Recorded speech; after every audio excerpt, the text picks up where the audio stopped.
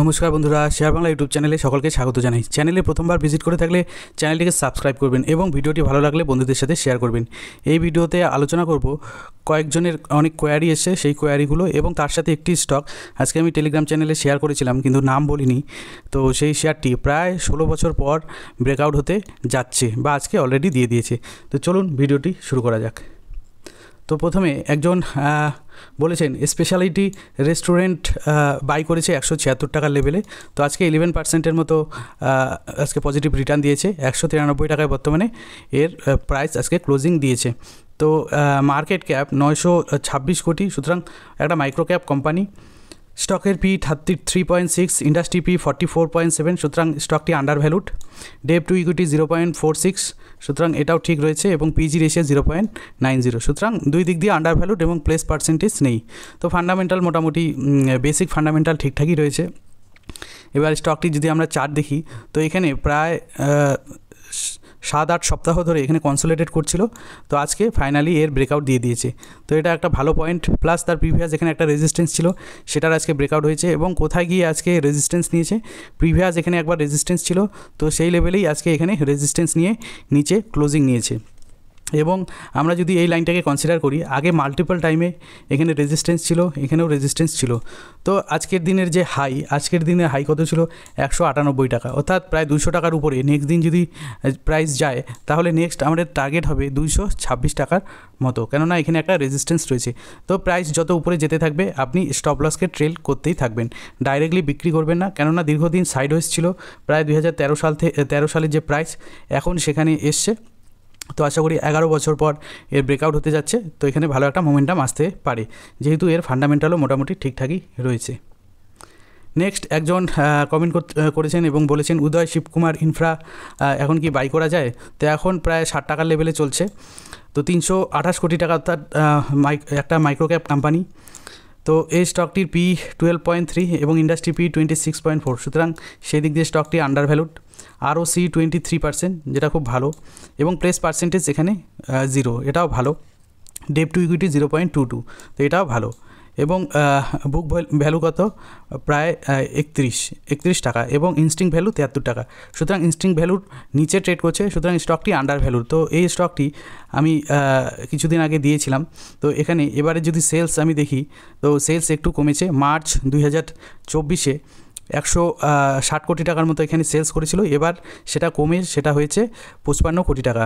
তো এখানে আমরা এখানে প্রফিটও একটু ডাউন দেখছি, বারো কোটি থেকে প্রায় পাঁচ কোটি টাকা হয়েছে।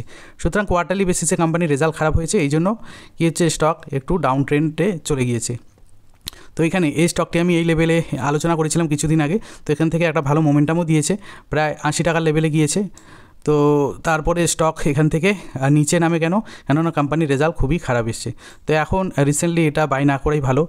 তো যদি স্টক প্রাইস বাই চান্স প্রায় পঞ্চাশ টাকার কাছাকাছি পান, সেটা একটা ভালো বাইং অপরচুনিটি হবে কেননা স্টকটি আন্ডার ভ্যালুড তো একটা কোম্পানির কোয়ার্টার যদি খারাপ হয়, তাহলে সেখান থেকে স্টক প্রাইস ফল করে। তো সেটা একটা বাইং অপরচুনিটি হতে পারে।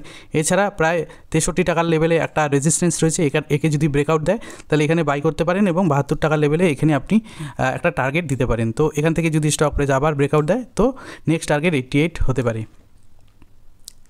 আরেকজন জানতে চেয়েছেন ইরকন ইন্টারন্যাশনাল তো দুইশো ছেষট্টি টাকায় চলছে। মার্কেট ক্যাপ পঁচিশ হাজার কোটি টাকার মতো। তো এই স্টকটি এক বছরে একশো ষাট টাকা লো এবং তিনশো বাহান্ন টাকা হাইয়ে ট্রেড করেছে। তো রেলওয়ে স্টকগুলো একটু কম চলছে এখন, কেননা হিউজ অলরেডি রিটার্ন দিয়ে দিয়েছে। তো বর্তমানে স্টকের PE fifty twenty five industry PE এর কাছাকাছিতে ট্রেড করছে ইন্ডাস্ট্রি পি টোয়েন্টি সিক্স তো ইরকন ইন্টারন্যাশনাল সেই দিক দিয়ে দেখতে গেলে এখনও মোটামুটি ভ্যালুয়েশন হিসেবে ঠিকঠাক রয়েছে।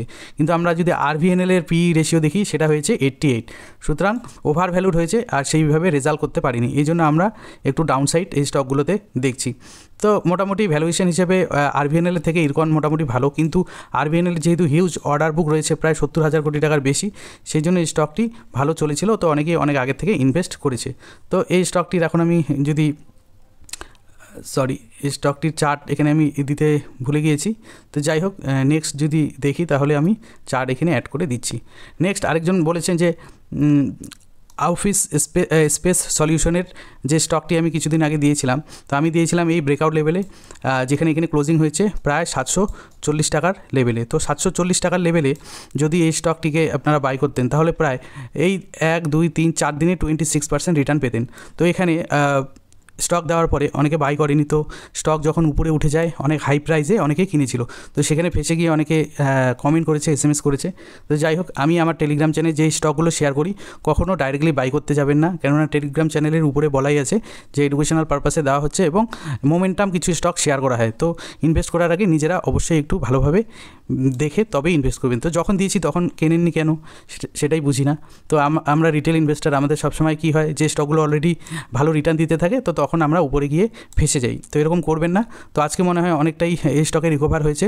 তো আজকের দিনের যে লো আটশো পঁয়ষট্টি টাকা, সেটাকে আপনি স্টপ লস দিয়ে এই স্টকে থাকতে পারেন। নেক্সট মোমেন্টাম আগের দিনে যদি হাইকে ব্রেকআউট দেয়, তো সেখান থেকে একটা ভালো আরও মোমেন্টাম আসতে পারে। না হলে কী হবে, এখান থেকে আবার রিটেস্টও করতে পারে। তো যাই হোক, আজকের দিনের লোকে আপনারা স্টপ লস দিয়ে দিন।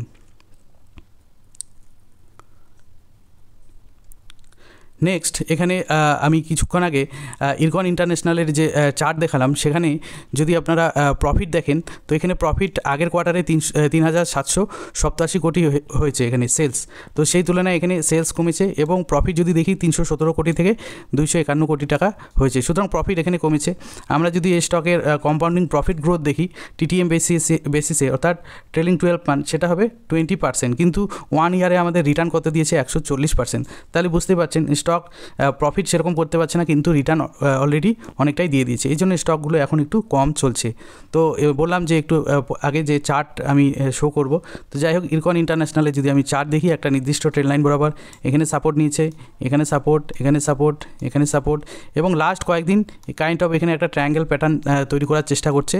তো এখানে কনসোলেটেড করছে এবং ছোটো ছোটো ক্যান্ডেল এই ট্রেন লাইনকে বেস করেই কিন্তু সাপোর্ট বারবার নিচ্ছে।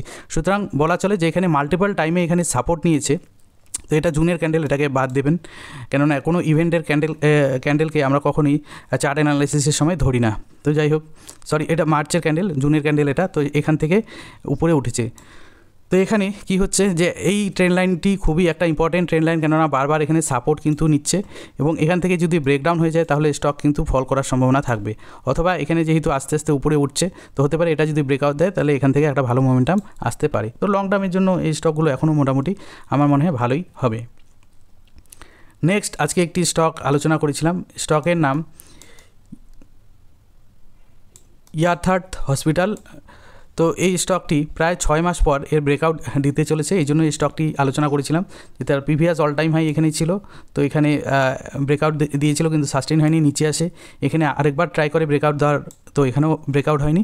তো ফাইনালি এখানে ব্রেকআউট হয়েছে। তো আগের দিন দেওয়ার কথা ছিল কিন্তু ব্রেকআউট এখানে সাস্টেন হয়নি। তো আজকে দিয়েছিলাম। তো এখান থেকে অলমোস্ট ব্রেকআউট হয়ে গেল।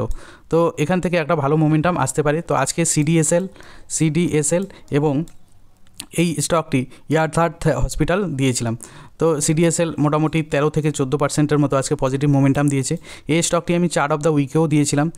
তো যাই হোক, একটা ভালো মোমেন্টাম কিন্তু আজকে আমরা পেয়েছি। সুইং ট্রেডিংয়ের জন্য অলরেডি আজকে অনেকেই প্রফিট বুক করেছে এখানে।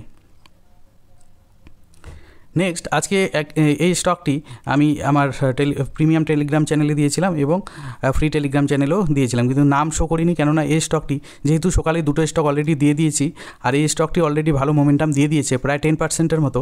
তো তাই এই স্টকটি আমি নাম শেয়ার করিনি, তো এখন শেয়ার করছি।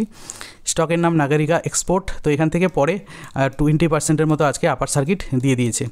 তো এই স্টকটিকে যদি আমরা দেখি, প্রায় দুই সাত সালে তার যে আইপিও প্রাইস ছিল, সেখান থেকে কন্টিনিউয়াসলি ফল করে, উপরে যাওয়ার চেষ্টা করে এবং দীর্ঘদিন সাইড ওয়েজ ছিল। তো এখানে দুই হাজার বাইশ সালে এখানে ব্রেকআউট দেওয়ার চেষ্টা করেছিল, পারেনি। দুই হাজার তেইশ সালে দেওয়ার চেষ্টা করেছিল, পারেনি। একবার দিয়েছিল, কিছুদিন আগে, দুই হাজার কিন্তু এখানে ব্রেকআউট ফেল হয়েছে। তো ফাইনালি আজকে পুরোপুরি এখানে ব্রেকআউট হয়ে গেল। তো এটা গেলো মান্থলি চার্ট তো আমি যদি উইকলি চার্ট দেখি, দেখুন, এখানে দুই হাজার বাইশ সালে ট্রাই করেছিল। দুই হাজার তেইশের শেষের দিকে, চব্বিশের শুরুর দিকে আর মার্চের পরের দিকেও এখানে ট্রাই করেছিল, কিন্তু সাস্টেন করেনি। তো আজকে এই স্টকটি ব্রেকআউটের কাছে এসে লাস্ট কয়েক উইক ধরে কনসোলেটেড করছে। তো আমি সবসময় বলি ব্রেকআউটের কাছে কোনো যদি স্টক দীর্ঘদিন কনসোলেটেড করতে থাকে, তো সেখান থেকে সাডেন একটা ভালো মোমেন্টাম আসে, যেটা আজকে আমি দেখলাম, প্রায় টোয়েন্টি পার্সেন্ট আপার সার্কিট দিয়েছে। তো এই স্টকটি আমিও বাই করেছি আজকে। সুইং ট্রেডিংয়ের জন্য। তো ডেলি চার্ট যদি দেখি, দেখুন এখানে এখানে ব্রেকআউটের কাছে একটা কাইন্ড অফ ডোজি ক্যান্ডেল তৈরি হয়েছে, নিচে আসে এবং আজকে তার ব্রেকআউট লেভেলে ওপেনিং হয় স্টক প্রাইস একটু নিচে আসে, তারপরে ফাইনালি হিউজ ভলিউমের সাথে এখানে আজকে ব্রেকআউট দিয়ে দিয়েছে। তো এই স্টকটি একটা মাইক্রো ক্যাপ কোম্পানি মাত্র একশো বাহান্ন কোটি টাকার কোম্পানি তো খুব হাই রিক্সি কোম্পানি এটা। তো যখন তখন এই স্টকে যা কিছু হতে পারে twenty percent upper circuit lower circuit স্টকের PE twenty four industry PE twenty four সুতরাং সেদিক দিয়ে দেখলে মোটামুটি ঠিকঠাকই রয়েছে এবং মাইক্রো ক্যাপ কোম্পানি হিসেবে আরও সি কত? Six point one seven debt to equity one point one three PEG ratio one point seven three এবং আমরা যদি দেখি বুক ভ্যালুর কাছাকাছি ট্রেড করছে বুক ভ্যালু কত? সাতচল্লিশ এবং কারেন্ট প্রাইস আটচল্লিশ টাকা ছয় পয়সা প্লেস পার্সেন্টেজ নেই। তো ভ্যালুয়েশন হিসেবে এই কোম্পানিটি মোটামুটি ঠিকঠাকই লেগেছে আমার কাছে।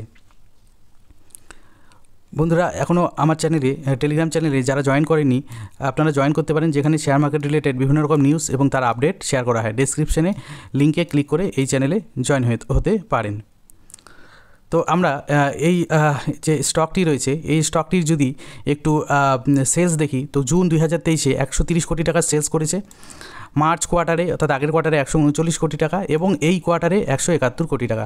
সুতরাং দেখুন, এখানে এই স্টকটি যদি আমরা চার্ট দেখি, তো যখন যখন স্টকটি ভালো রেজাল্ট করেছে কাইন্ড অফ ব্রেকআউট দেওয়ার চেষ্টা করেছে, তো হঠাৎ এখন তার অল টাইম হাইকে ব্রেকআউট কেন দিচ্ছে?